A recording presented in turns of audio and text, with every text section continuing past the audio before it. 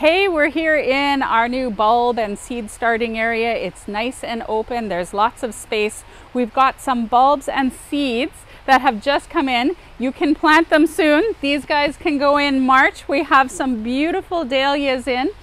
You want to wait to plant your dahlias till the soil warms up, but you can get them now if you want. We've got some gorgeous new seeds here. Some of our snow peas can come go in the ground in a little while. You still have to be patient. I know the weather is not bad, but it's still a little cold. There are some seeds though that if you want to start them inside, you can actually start them inside maybe in the next week or so. So I'm actually going to be starting some of my sweet peas um, inside and there's some beautiful beautiful different varieties.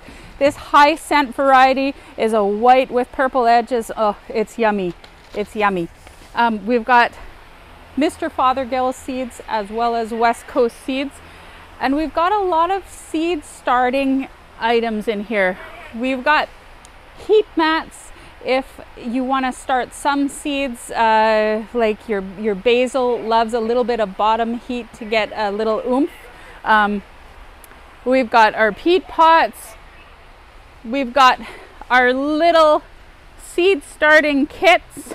Um, I really love these plastic domes and we'll be getting more of them. So these are great to get, keep your seeds moist and get them started. Um, and then we have all different sizes that you can plant your seeds. Uh, so that's it. Come and visit us. We've got some great stock and stock is still coming in.